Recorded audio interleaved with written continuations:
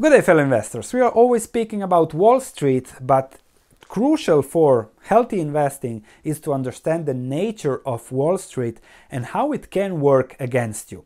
We continue with the summary of the margin of safety, Seth Klarman's book, and chapter 2 is all about the nature of Wall Street and how it works against you. The topics covered are the following upfront fees and commissions, Wall Street's primary conflict of interest, Wall Street favors underwriting over secondary market transactions, Wall Street's short term focus and financial innovations, Wall Street's bullish bias, and investment fads. So, what does Wall Street do?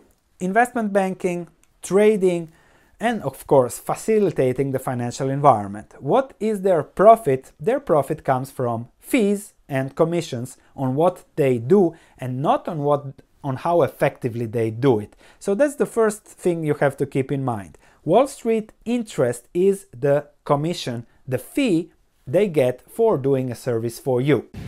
We're taking home cold hard cash via commission, motherfucker. Right. That's incredible, sir. I can't tell you how excited I am. You should be.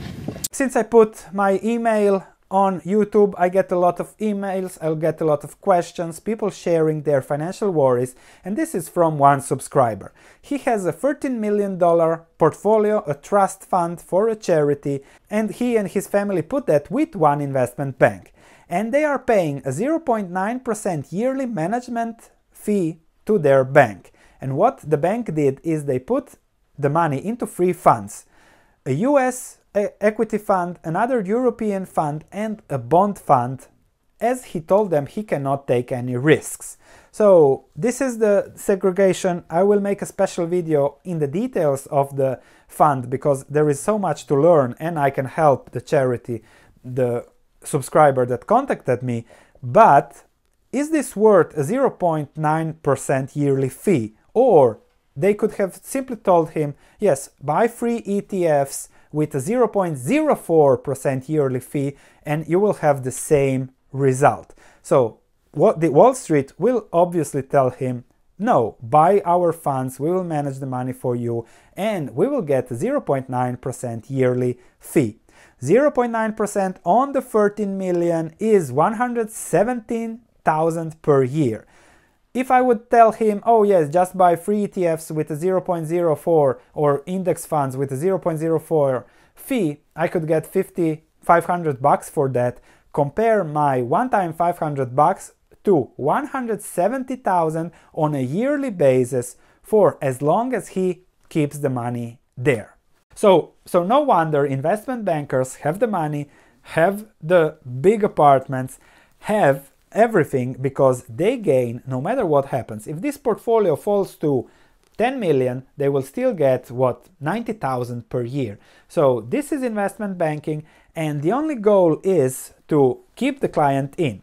Further, Seth Klarman says how they are willing to risk even more because they know they eventually, over a few years, they will lose their client because that's the nature of Wall Street. So they are trying to squeeze the client as much as they can for the fees. Something to keep in mind when you're dealing with Wall Street. So the first lesson is be aware of the interest of the counterparty you are dealing with because Wall Street is all about we're taking home cold hard cash via commission, motherfucker.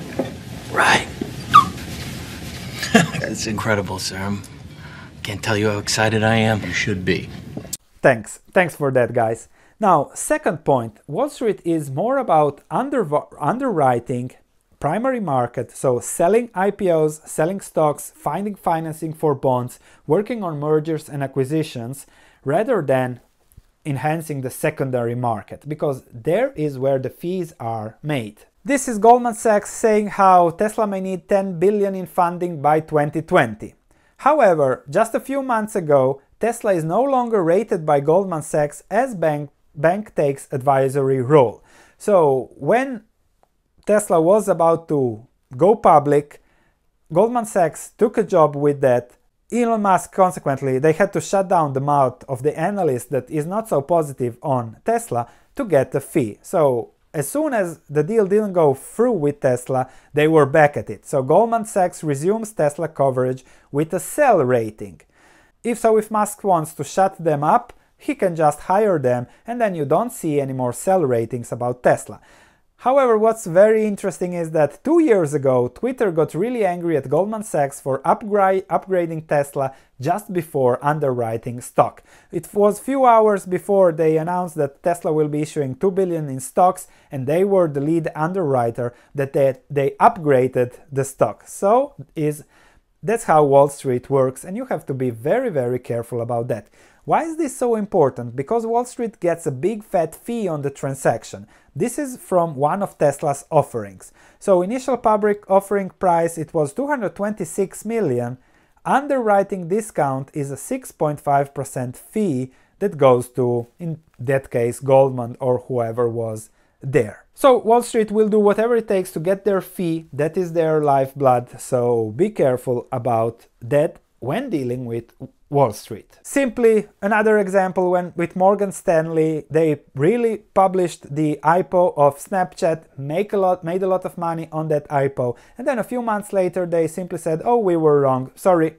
See you next time on the next IPO that we will promote actively before it goes public and then forget about it when it goes public." But that's Wall Street. Then Wall Street is really focused on the short term there is so much money into the business so if you make have five good years as an employee at wall street you can prob- probably retire if you're not too greedy that you want to do it for the rest of your life. One example if you read nassim taleb's book skin in the game you can see that bob rubin he was the ceo of citibank for just a few months before it was bailed out by the government but for the few months he was working there he got about 100 to 125 million in fees. He didn't save the company and he didn't have to pay anything back when the company went bust. That's how Wall Street works short term focus, let me get my fees, let me get my commissions, and see you later, alligator.